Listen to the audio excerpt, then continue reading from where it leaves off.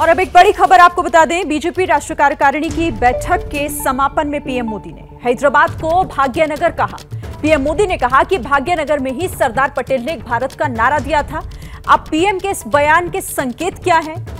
ये भी यहाँ पर समझना बहुत ज़रूरी हो जाएगा, क्योंकि प्रधानमंत्री नरेंद्र मोदी ने हैदराबाद को अपने संबोधन में भाग्यनगर कहते हुए कहा कि सरदार पटेल ने एक भारत का नारा यहीं से दिया था। तो ये बड़ा बयान प्रधानमंत्री नरेंद्र मोदी का और हैदराबाद को भाग्यनगर कहना अपने आप में इससे इसके कई मायने हो जाते हैं। इस वक्त की बड़ी खबर, बीजेपी राष्ट्रीय कार्यकारिणी की बैठक जो कि हैदराबाद में चल रही है, आज दूसरा दिन है और इस बैठक में प्रधानमंत्री नरेंद्र मोदी ने ये बड़ी बात कही। हैदराबाद को भाग्यनगर संबोधित करते हुए उन्होंने कहा कि भाग्यनगर में ही सरदार पटेल ने एक भारत का नारा बुलंद किया था। बड़ी खबर इस वक्त हैदराबाद को भाग्यनगर कहा है प्रधानमंत्री ने। बीजेपी की राष्ट्रीय कार्यकारिणी की बैठक, जो इस बार हैदराबाद में हो रही है। तो प्रधानमंत्री के इस बयान के आखिर संकेत क्या है, मायने क्या है, ये जानने के लिए सीधे रुख कर लेते हैं विकास भदौरिया का। विकास हमारे साथ जुड़ गए हैं। विकास, क्या मायने निकाले जाए प्रधानमंत्री के इस भाग्यनगर, जो कि हैदराबाद को उन्होंने कहते हुए संबोधित किया? देखिए, मैं आपको बता दूँ जो तेलंगाना बीजेपी है। उसके एजेंडे में सबसे ऊपर है हैदराबाद का नाम बदलकर भाग्यनगर रखना कि उनका ये कहना है कि इतिहास में हैदराबाद का नाम भाग्यनगर बाद में मुगलों के समय इसका नाम बदलकर हैदराबाद रखा गया। इसलिए इसको इसकी जो पुराना वैभव है नाम के साथ जो जुड़ा हुआ है उसको लौटाने की ज़रूरत है। इसलिए बीजेपी के एजेंडे में भाग्यनगर नाम दोबारा से रखना उसके एजेंडे पर। लेकिन प्रधानमंत्री ने भाग्यनगर हर कर सरदार पटेल से उसको जुड़ा उन्होंने कहा, भाग्यनगर में सरदार पटेल ने एक भारत का नारा दिया था। और आपको पता है कि हैदराबाद आज़ादी के समय अलग पाकिस्तान से जुड़ना चाहता था। उस समय सरदार पटेल ने यहाँ शुरुआत की थी हैदराबाद को भारत में जोड़कर और उसके बाद एक भारत जो अभी भारत है, उसका जो आज का नक्शा है, उसकी शुरुआत हैदराबाद से हुई थी। तो प्रधानमंत्री ने उससे जोड़ते हुए कहा है कि पुष्टिकरण खत्म करने का रास्ता सच्चीकरण का रास्ता यहीं से अपनाया गया और पुष्टिकरण करने की ज़रूरत नहीं है। एक ही विचारा है नेशन फ़र्स्ट, एक ही कार्यक्रम है नेशन पर देश पहले होना चाहिए, उसके अतिरिक्त कुछ भी नहीं पहला होना चाहिए और इसलिए उन्होंने न केवल स्थानीय बीजेपी के एजेंडे को ऊपर रखा, बल्कि उसको सीधे सीधे जो आज का भारत है, जो आज के भारत का नक्शा है, एक भारत उससे जुड़ा है। यानी विकास, इसका, इसे ऐसे भी समझा जाए, जिस तरह से मिशन दक्षिण पर है इस वक्त बीजेपी, दो दिन से ये बैठक चल रही है। प्रधानमंत्री खुद इसमें काफ़ी सक्रियता दिखा रहे हैं। तो आज जिस तरह से उन्होंने हैदराबाद को भाग्यनगर कहा, ये साफ़ कर दिया कि तेलंगाना में आज के बीजेपी के एजेंडे में ये भी प्रमुखता से रहने वाला है।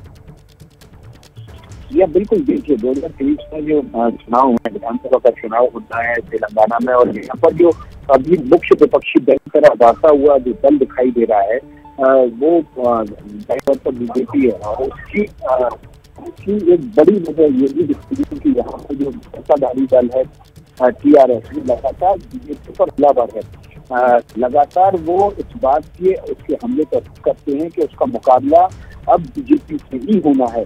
तो ऐसी सूरत की बात है कि बीजेपी के एजेंडे को ही प्रधानमंत्री आगे बढ़ाएँगे और इसके एजेंडे दक्षिण का दरवाज़ा अब तेलंगाना से होता हुआ आंध्र प्रदेश और तमिलनाडु केरल ले जाना चाहते हैं। उसकी शुरुआत एक तरह से उन्होंने भाग्यनगर की बीजेपी, तेलंगाना का एजेंडा है, उसको ऊपर रखती थी। ठीक है, बहुत शुक्रिया आपका। विकास पतौरे हमारे साथ जुड़ने के लिए और इस बातचीत के लिए। तो भाग्यनगर कहकर संबोधित किया है प्रधानमंत्री नरेंद्र मोदी ने हैदराबाद को।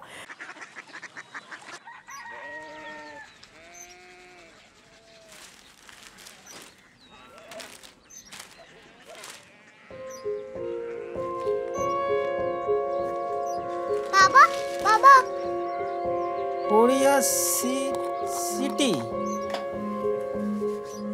जानिए ना।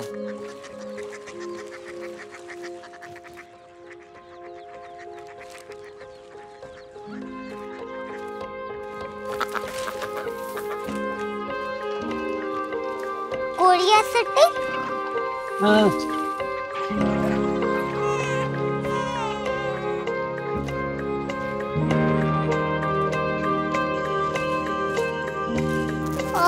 कोडिया सट्टी कापे शहर अंग्रेज़ी लगे हैं।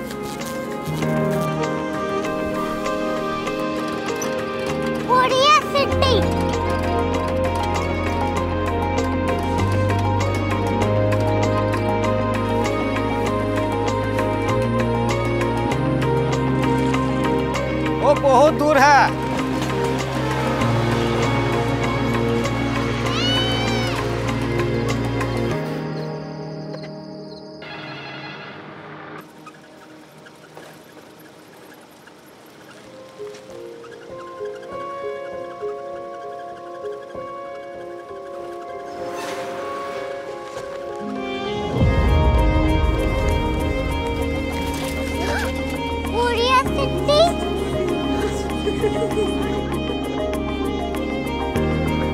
दुनिया को नहीं। हाँ, कुछ लोग बड़े होते हैं। कोरिया सिटी कहाँ है प्रोफेसर साहब को पता होगा।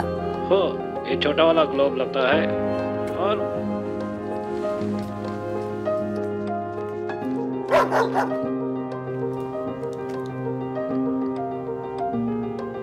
पता नहीं। मेरी बेटी से जाके मिल लो।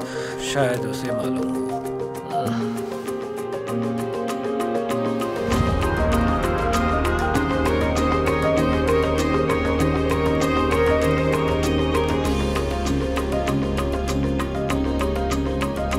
हाय। बाबा ने भेजा है। Come here. Korea city Korea city नहीं क्यूरियोसिटी वो क्या?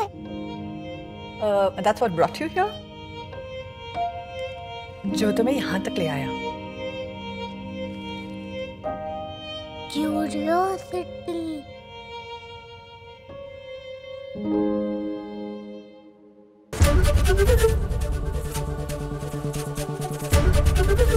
एबीपी न्यूज़ आपको रखे आगे।